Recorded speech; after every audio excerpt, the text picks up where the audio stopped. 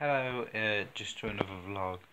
Uh, it's just an update about yesterday's vlog, if it goes up in time.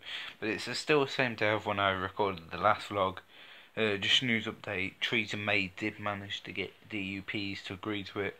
But the problem is the DUP's um, policies go against what the Conservatives are, and it goes against our own.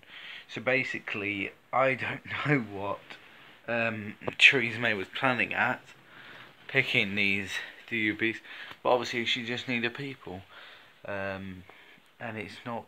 Well, it's worked in her favour because now she can run a country.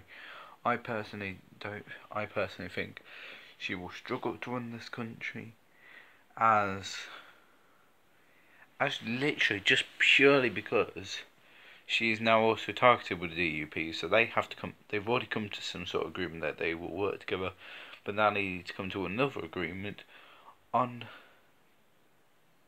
you know, running the country. The problem is if Theresa May wants to do something, then she has to pass it by the head of the DUP, unless the head of the DUP has now given full control control over to Theresa May.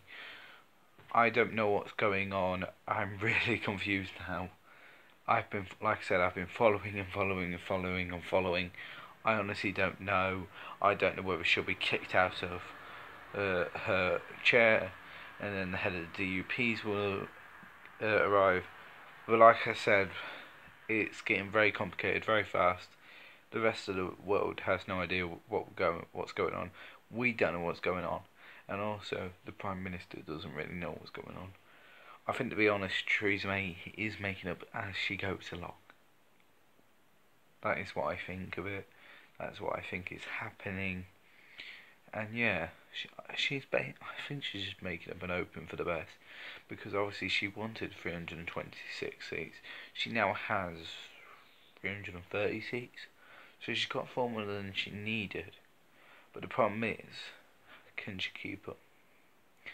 Can the Tories, the Conservatives, stay in power. I wonder. I really do wonder whether they can stay in power, whether it can be a success. Who knows? The DUPs and the Conservatives may make this a brand new thing, may make it work. But the problem is, if it doesn't work, if it doesn't work, that's it. But like I said, the rest of the country don't really know what's going on. Some people are really confused. So am I. I just thought I'd update you because, like I said, I did. I did say I would update you. Uh, Theresa May has probably gone along with whatever the head of the DUP say, because the problem is, if she said no and they said no, then it'd be another election, and she and she knows that if there was another election, they would probably lose it, and I think she knows that as well that they would lose it and Labour would get in. Now, unfortunately, due to that, she doesn't obviously want Labour to get in. So what she is now doing is probably just doing anything to keep them in. Because obviously the problem is she don't want Jeremy Corbyn to become Prime Minister. Same way that Jeremy Corbyn didn't want Theresa May to become Prime Minister again. But obviously she did. She now has to make this work.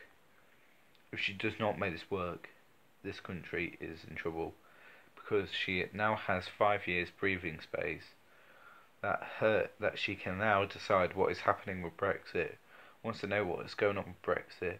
Wants to get us out of the EU, get us what we voted for, then we are alright.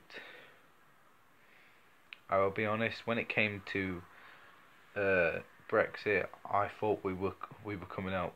We did come out. No one saw that coming. We all thought we were going to end up staying. Um, and obviously, I thought Labour were getting in. It was close. They came second. That's good. The second biggest party. But at the end of the day, anything's to play for. As always, I will keep you updated with more with more information as it comes along. I'm currently watching the another election question time show about it. As always, if you have liked, the, if you do enjoy the video or do like the video, please slap that like button. It only takes one or two seconds out of your day. And also, if you have enjoyed and you want to stick us around more, then please subscribe and join Team Blaster for more politics. And I'll see you in the next one. Bye.